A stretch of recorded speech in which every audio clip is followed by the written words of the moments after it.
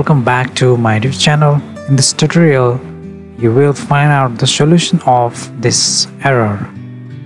When I copy from desktop or any other places, drive, file, and I want to paste on D drive, now I have got this type of error in my computer and I fixed that issue and I'm going to share to you all how to fix that uh, issue okay?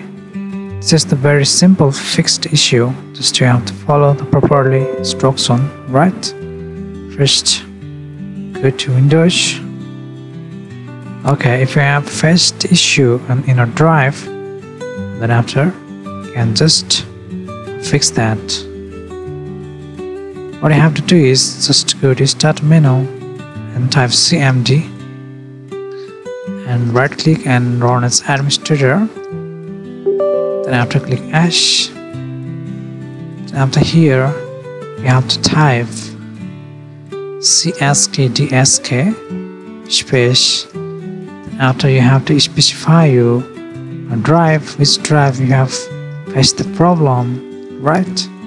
Suppose I have faced here the problem on E drive then what you have to do is E colon then after space then after this forward slash and F. Okay? This will check the hard disk and fix the problem of your drive. Then just hit enter. And after it is examining the basic files and system structure. Okay. And it may take about 10 or 15 minutes to complete this process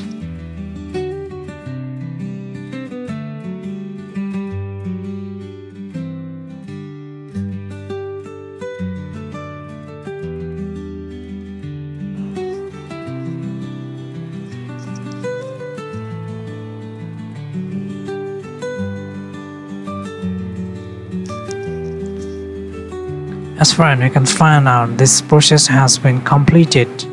Now just type exit. Exit exit. Then after restart menu and just and restart the computer.